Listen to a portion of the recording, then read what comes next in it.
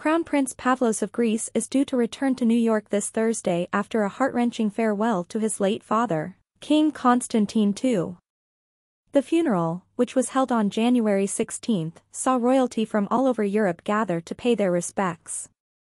Despite reports that Crown Prince Pavlos and his wife were house hunting in Greece, they primarily reside in New York and instead spent an extended period of time in Athens to support Queen Anne-Marie. According to Andreas Magos, the Greek royal family is currently observing a period of mourning, and as a result, the crown prince will not be giving any interviews or making any public statements until the 40-day memorial service for King Constantine. The memorial service, which will take place on Sunday, February 19, will be held at the Metropolitan Cathedral of Athens, the same location where the funeral was held.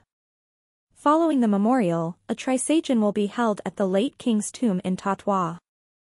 A second memorial service is also planned to take place in London, with all members of the Greek royal family expected to attend.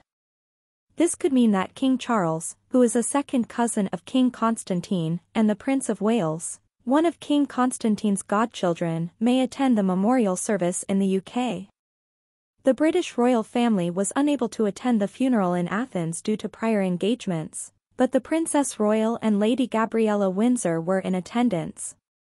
In addition to dividing his time between New York and Athens, Crown Prince Pavlos is also expected to spend time in London to be close to his mother, Queen Anne-Marie.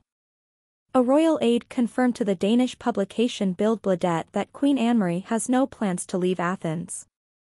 The Greek royal family's time of mourning is a difficult and emotional period, and it is important to remember that they are grieving the loss of a loved one.